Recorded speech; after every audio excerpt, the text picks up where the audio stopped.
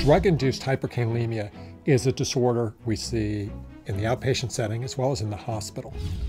Um, and we see this because we're using drugs that either impair the ability of potassium to move from the extracellular space into cells, or drugs that impair the ability of the kidney to secrete potassium. And there are a number of classes of drugs that do this. Aldosterone has a very important role in enhancing renal potassium secretion. And by blocking aldosterone's effects, we limit the ability of the kidney to secrete potassium.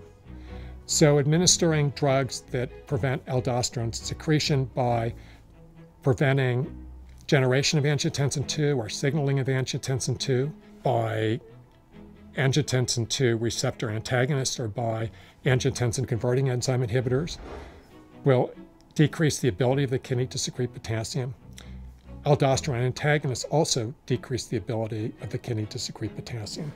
When these drugs are used individually for the treatment of hypertension, the risk of hyperkalemia is actually very low. But as we start using these drugs in individuals who may have an impaired ability to secrete potassium, such as individuals with renal insufficiency, uh, individuals with uh, hyporenin hypoaldosteronism, individuals with heart failure, we start to see an increased risk of drug induced hyperkalemia.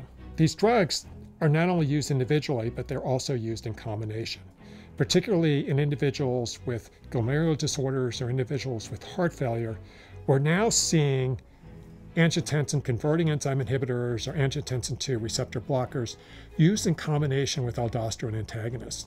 And those individuals are at significantly increased risk for developing hyperkalemia. There's another class of drugs that impair renal potassium secretion, and these are drugs that directly block the sodium channel in the distal nephron. We know that sodium uptake through the sodium channel in the distal nephron is required to secrete potassium in the distal nephron. So by blocking the sodium channel, you block renal K secretion. It's important to be aware of this disorder and to monitor serum potassium concentrations. And when serum potassium concentrations start to rise to a level uh, where you need to intervene, it's important to intervene.